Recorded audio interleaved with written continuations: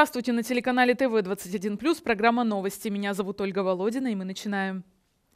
Еженедельная ярмарка «Наша рыба» продолжит работу. На эти цели Министерству природных ресурсов, экологии и рыбного хозяйства выделят больше 6 миллионов рублей. Соответствующее постановление подписал губернатор Андрей Чибис. Деньги предоставят в качестве субсидии и направят на финансовое обеспечение затрат и на организацию торговли. Напомним, что социальный проект «Наша рыба» появился в 2019 году. На ярмарке северяне могут приобрести рыбную продукцию по ценам на 25-30% ниже рыночных. В 2021 году запустили формат мобильной продажи. За несколько лет фудтраки побывали в 20 населенных пунктах от Никеля до Кандалакши. Еще одно постановление, подписанное главой региона, касается семей участников специальной военной операции. Им будут выплачивать единовременное пособие при поступлении ребенка в первый класс. Размер материальной помощи чуть больше 5200 рублей. Выплаты не будут зависеть от уровня дохода и будут производиться одному из родителей, усыновителей или опекунов, на каждого проживающего с ним ребенка-первоклассника или ребенка, который пойдет в школу в следующем году. Тем временем заполярные студенты и курсанты встретились с ветеранами специальной операции. В военном учебном центре Мурманского арктического университета они провели урок в формате живого диалога. Бойцы, вернувшиеся из зоны СВО, ответили на вопросы ребят и поделились своими историями. Олегу Конышеву за 50, но несмотря на возраст, в мае прошлого года мужчина добровольцем отправился в зону СВО. На фронте стал санинструктором. Сейчас он эксперт по посттравматическому стрессовому расстройству. Возвращает к привычной жизни участников боевых действий. Своими историями с удовольствием делится с курсантами военного учебного центра Арктического университета. Говорит, больше 30 лет назад и сам выпускался из этих стен. Многие военнослужащие не могут показывать свои лица. К сожалению, из тех, кто возвращается с войны, не все могут говорить и не все хотят говорить, потому что для кого-то нужна пауза там, в пару лет для того, чтобы просто все это дело а, для себя осмыслить. И поэтому мы ежедневно встречаемся с молодежью, потому что наконец-то вспомнили про военно-патриотическое воспитание. Студентов интересует практически все. Вопросы подготовки, мотивация бойцов, их чувства и переживания. Для Станислава Кнышова встреча – возможность задать вопрос личного характера. Я родом с города Рубежного Луганской области, так что мне очень важно знать, я очень переживаю за свой родной город. То есть я вот сначала буквально специальной военной операции за этим слежу. И вот мне хотелось бы, так сказать, с первых уст узнать, что происходит там, как все на самом деле. Мероприятие посвящено Дню Героев Отечества, который 16 лет уже отмечается 9 декабря, в день учреждения Ордена Святого Георгия, одной из высших военных наград России. Кирилл Грапеняк, Владислав Хрущев, ТВ-21+.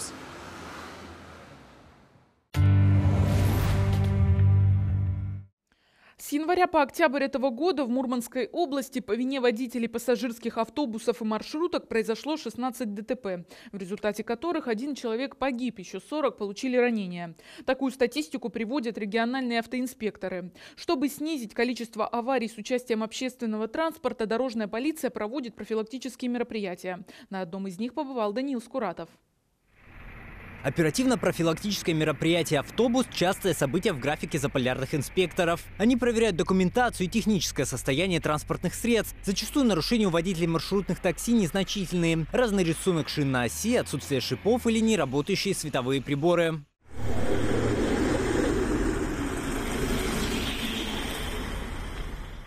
За первые полчаса рейда инспекторы остановили четыре маршрутки, а после движения микроавтобусов по улице Лобова прекратилось вовсе. По мнению сотрудников ГИБДД, информация по нашему рейду уже прошла по чатам водителей. И, например, вот водитель 62-й маршрутки решил встать недалеко от остановочки и стоит, ждет, пока все это мероприятие закончится. Аналогично и с выездом с базы, оттуда вообще никто не выезжает, и мы стоим, просто ждем. Несмотря на это, несколько водителей все же получили заслуженные штрафы за неисправный ручной тормоз и световые приборы. До 13 декабря, именно в этот день закончится мероприятие, заполярные дорожные полицейские планируют проверить большую часть автобусов региона. Данил Скуратов, ТВ-21+. Тем временем пять муниципалитетов Мурманской области получили новые школьные автобусы. Парк техники обновляется ежегодно в рамках стратегического плана «На севере жить». 12 новеньких желтых автобуса с надписью «Дети» выстрелились в ряд перед Центром образования Лапландия. Ключи от машин получили представители Мурманска, Мончегорска, Оленегорска, Печенского округа, зато Заозерск. Вся техника оборудована тахографами, системой спутниковой навигации ГЛОНАСС, специальными мигалками. В этом году это уже вторая партия спецтранспорта. В первом квартале муниципалитеты уже получили 9 машин. Потребности ну, практически или в значительной степени удовлетворены, но автобусы, понятно, что которые там, 4 года назад были предоставлены, 3 года назад, постепенно-постепенно мы тоже будем выводить их из, из эксплуатации, обновляя, нов... поставляя новые. На сегодняшний день среди автобусов, используемых для перевозки детей, не осталось ни одного старше 5 лет. За 5 лет парк обновился 76 новыми машинами. Их приобрели в рамках нацпроекта образования и стратегического плана «На севере жить». Кирилл Грапеняк, Владислав Хрущев, ТВ-21+. Фестиваль профессий и выставка колледжей и вузов региона проходит в Центре опережающей профессиональной подготовки. Главная задача – помочь школьникам определиться с будущей карьерой. Ребята на мастер-классах смогли попробовать себя в роли флотаторов, электриков, педагогов и не только. На фестивале профессий Никита Смирнов представляет апатитский филиал МАУ. Студент учится по направлению высоковольтная энергетика. С собой из апатитов Никита привез наглядный макет, с помощью которого он подробно рассказывает и показывает, что происходит при обрыве проводов ЛЭП и как в этом случае себя вести. Почему нельзя делать большие шаги, а нужно идти плотными маленькими шагами? Потому что ноги у нас выступают как две точки, между которыми происходит раз потенциалов. Таких проектов на фестивале много. Здесь предприятия ищут будущих специалистов, а колледжи и вузы – потенциальных студентов. Но главные посетители фестиваля – школьники. Для них представители организаций показывают различные технологические процессы. Например, как получить никель. Данный сосуд мы отправляем пульпу. Пульпа – это смесь твердого и жидкого. Никель осаждается снизу, а медь как раз выталкивает воздух наверх. Таким образом, мы выталкиваем медь от никеля. Ребята могут познакомиться с профессией не только в теории, но и на практике. Здесь школьникам предлагают побывать в роли повара, горняка, спасателя, педагога, строителя. Мы подготовили мастер-класс по э, росписи стен э, с помощью трафарета. Ну, такой простой, удобный способ. Вот. И подготовили мозаику из битой плитки. У нас после учебной практики остаются кусочки плитки. Мы не выбрасываем, у нас все идет в дело. По словам организаторов, фестиваль – это уникальная профориентационная площадка. Знакомить школьников с рабочими профессиями начинать с шестого класса. Важно помочь ученику определиться с направлением как можно раньше, чтобы на этапе обучения не пришлось менять колледж или университет. Надеюсь, мы сформируем у школьников Мурманской области понимание того, что именно наша область вот, предоставляет такие возможности. И даже если они поедут поступать, допустим, в столичные вузы, там, технические, допустим, то они вернутся к нам, э, потому что ну, возможностей здесь много. Я напомню, что в рамках плана «На севере жить» у нас в том числе была предусмотрена именная стипендия губернатора Мурманской области. И те ребята, которые поступают в наши колледжи, учатся в течение года на отлично, они могут получать стипендию в 10 тысяч рублей ежемесячно. Фестиваль профессий будет проходить три дня. За это время познакомить с рабочими профессиями планируют около двух тысяч школьников. Александра Пескова, Максим Кравченко, ТВ-21+.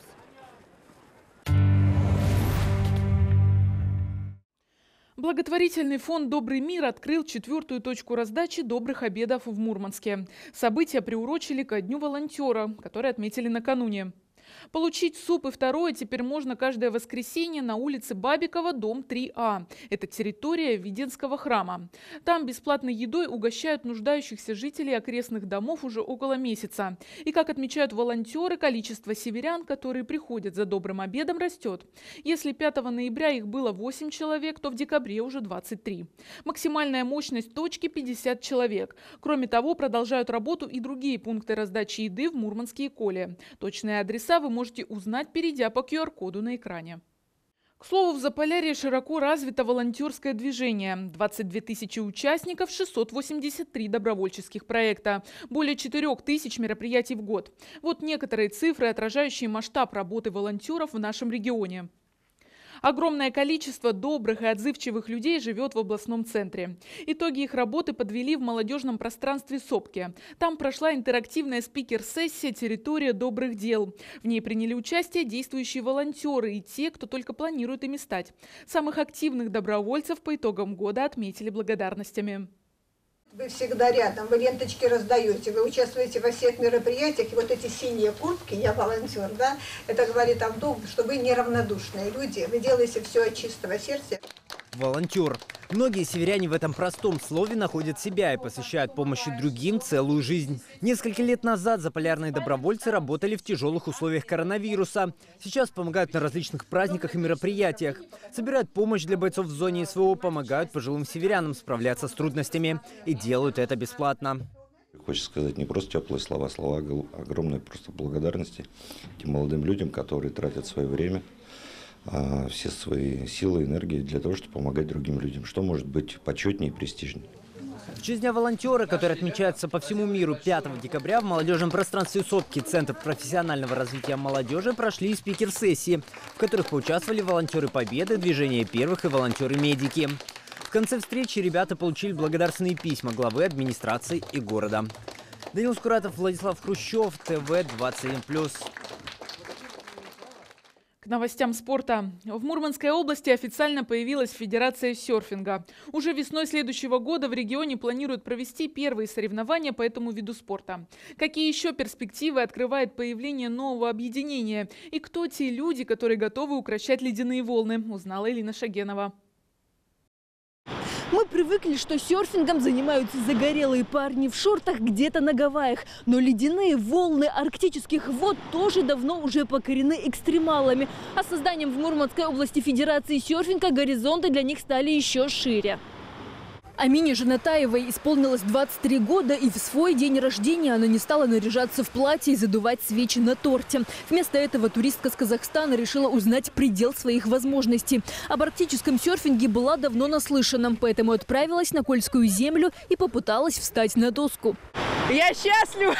На самом деле я безумно... Ну, посмотрите на эту природу. Это, это не описать словами. Нужно ехать, нужно пробовать. Это тяжело только в голове. Разум не дает зайти в холодную воду, но гидрокостюм не дает холоду проникнуть. Жарко, тепло, настроение отличное. Мурманская область – одно из самых популярных направлений внутреннего туризма в России. Желающих оседлать волны холодного Баренцева моря тоже становится все больше. Как среди туристов, так и среди северян. Хотя серфинг зависит от погоды, полный флет, то есть гладкая вода без волн, не повод отменять тренировку. Наоборот, это отличный шанс для новичков познать азы серфинга, отточить технику, почувствовать себя уверенно на воде. Больших волн начинать, конечно, опасно.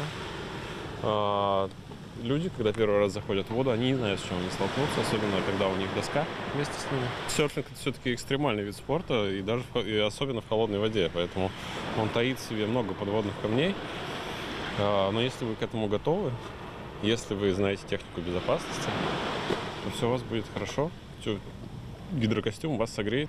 Один из активных популяризаторов серфинга в Заполярье Александр Незовец. Начинала с саббордов. Девушка руководит базой в Минкино. Позже добавились уроки арктического серфинга. И, наконец, сбылась мечта. Вместе с единомышленниками она организовала Федерацию серфинга Мурманской области. Это позволит проводить официальные соревнования по этому виду спорта. Конечно же, мы заточены под то, что мы планируем в марте, в апреле месяце провести первый чемпионат по серфингу региональный здесь для наших местных ребят, для того, чтобы мы могли присвоить им категории э, и отправить наших ребят выступать уже на чемпионате России. Еще несколько бонусов. Возможность сформировать сборную Мурманской области и получить финансирование от государства. Вероятно, водные виды спорта и туризм теперь получат новый виток развития на Кольском полуострове. Элина Шагенова, Максим Кравченко, ТВ 21+. А пока профессиональным спортсменам предлагают померзнуть, но не в воде, а в специальных криокамерах. По мнению специалистов, холод хорошо влияет на мышцы после серьезных нагрузок. И такие процедуры помогают восстановлению тканей. Подробности узнала Александра Клепцова. Минус 110 градусов по Цельсию. Такая температура может убить человека, а может способствовать лечению. Криотерапия используется при бронхитах, дерматитах и артритах. Сначала стоишь, замерзаешь мерзаешь, а потом резко замерзаешь, но в какой-то момент перестаешь мерзнуть совсем. Период перед тренировками а, данная процедура тренирует выносливость, да, очень активно а, показана в период подготовки к соревнованиям. И если мы говорим а, после активных физических нагрузок, то это восстановление нервно-мышечного аппарата, да, активно выраженный энергетический эффект, что тоже будет очень полезно нашим спортсменам. Поэтому Министерство здравоохранения предложило Минспорту использовать уже имеющиеся криокамеры. 92 человека, которые сейчас являются кандидатами в сборные России, могут воспользоваться услугой через Центр спортивной подготовки. Процессы тренировочные очень э, длительные, и они часто бывают на выездах, э, потому что надо выступать на соревнованиях, а перед соревнованиями надо адаптироваться к тому климату, куда они приезжают, поэтому разъездной характер э, очень частый, поэтому как только приезжают в Мурманскую область, мы организовываем мероприятия восстановительного характера. Первым пройти процедуру предложили пауэрлифтеру Дмитрию Кобзеву. Он описывает ощущения, как прыжок в купель после сауны, но гораздо мягче. Я думаю, что я буду, если будет такая возможность, на регулярной основе, потому что я по ощущениям чувствую, что это очень хорошо будет сказываться на восстановлении мышц в период тяжелых тренировок, либо подготовки к соревнованиям, либо в отдыхе каком-то таком активном. От классической закалки процесс отличается. Пациент постоянно находится под наблюдением. Врач осматривает человека, контролирует каждый его шаг, напоминает защищать руки, ноги, голову и кончик носа – самые уязвимые для мороза части тела. Александра Клепцова, Максим Кравченко, ТВ-21+. Еще больше интересных и актуальных новостей вы найдете на сайте www.tv21.ru и на нашем YouTube-канале. Телефон редакции 400 870. Присылайте ваши новости в наши мессенджеры и подписывайтесь на наш телеграм-канал. Далее вас ждет прогноз погоды.